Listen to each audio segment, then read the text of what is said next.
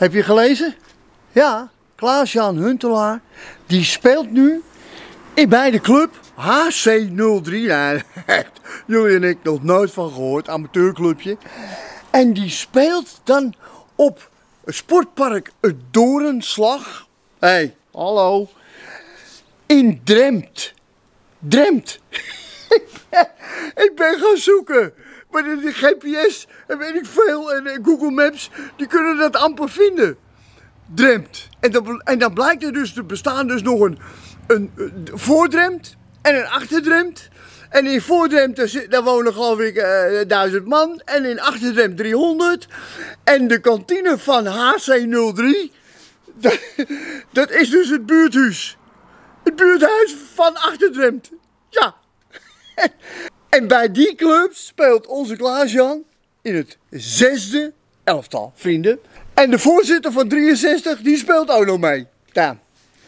Ja, van mij mag je Klaas, van mij mag je. Je mag zelf beslissen wat je wil.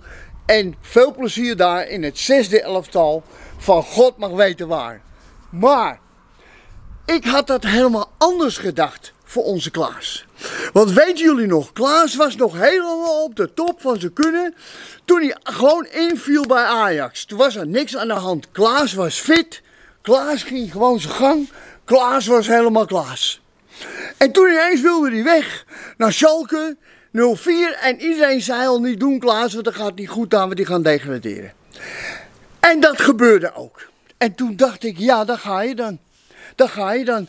Want hoe mooi was het niet geweest als Klaas afscheid had genomen met een kampioenschap bij Ajax.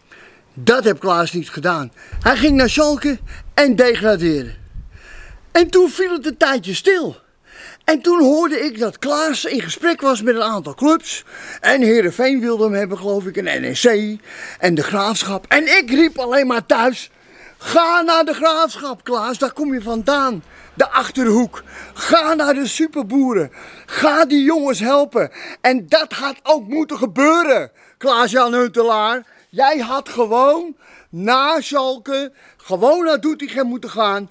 Hup, naar de Vijverberg. Misschien had je niet altijd gespeeld, maar dat maakt niet uit. Met een aantal goals had je de graafschap gewoon de Eredivisie ingeknald. En je had een standbeeld gekregen groter dan de Vijverberg zelf. En nu? Is dat allemaal niet aan de hand. Klaas, Klaas, Klaas had dat nou gedaan. Had naar de graafschap gegaan. Maar toch, hé, hey, dankjewel voor alle mooie wedstrijden die je gespeeld hebt. Dankjewel voor al je mooie goals. Dankjewel voor je enorme passie die je altijd liet zien. En ik wens jou, Klaas, werkelijk het aller, allerbeste.